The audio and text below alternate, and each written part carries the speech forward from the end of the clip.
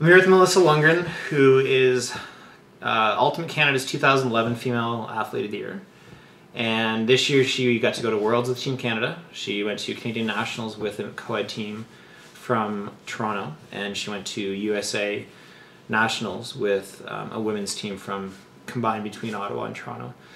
So one thing that I've been trying to do more of is add more content on the blog about women's ultimate because it's really overlooked, I think, with the AUDL, the MLU, um, you know, Brodie Smith's trick shots, um, all these Sports Center highlight clips that are all pretty much men's ultimate. And there's a lot of amazing female ultimate players.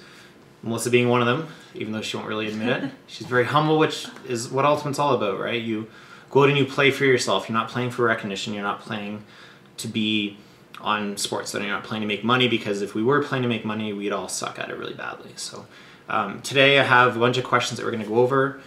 Hi, my name is Malissa Lundgren. Uh, I'm a Winnipegger, uh, born and raised, and have uh, moved and lived in Toronto for the past uh, eight years. And been playing uh, Ultimate both as a junior, women's co-ed, in a lot of different cities. Uh, this was a pretty intense year. We started um, probably prepping and, and playing for this year last year.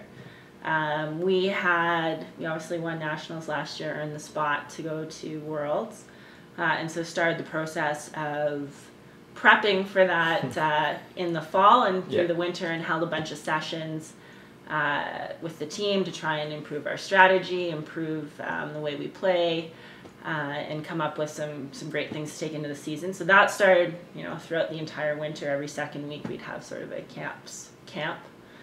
Um, and then tryouts and everything started, I think, first week of April. Okay. Um, so tryouts, pretty intense set of tryouts between you know across Canada, uh, and then obviously Worlds where we finished third uh, in uh, Japan, which was super exciting and super amazing, and uh, we had some huge breakthroughs for us uh, at Worlds. Great uh, accomplishment there, uh, and then nationals was just a very fun thing this year.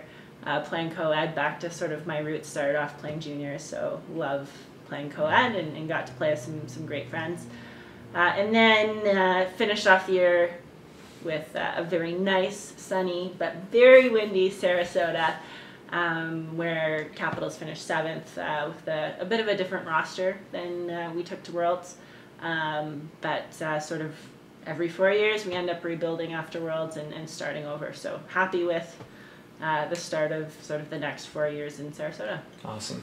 What was your involvement with Team Canada Women's this year?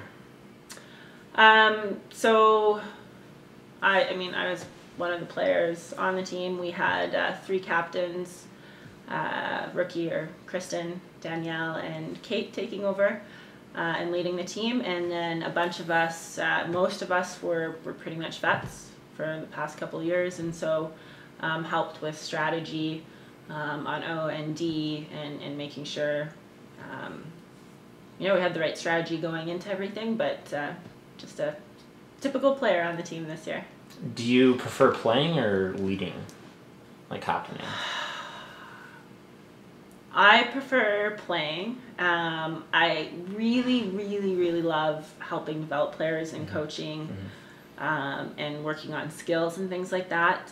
Um, so that part I really like about that. I think this year, just captaining uh, in the fall, um, it kind of takes away from the ability to do that because there's so much organization and logistics and things that you have to do that it takes away from uh, actually helping people improve, which is sort of one of the things that I would really prefer to do versus the the leading logistics side of things. Awesome.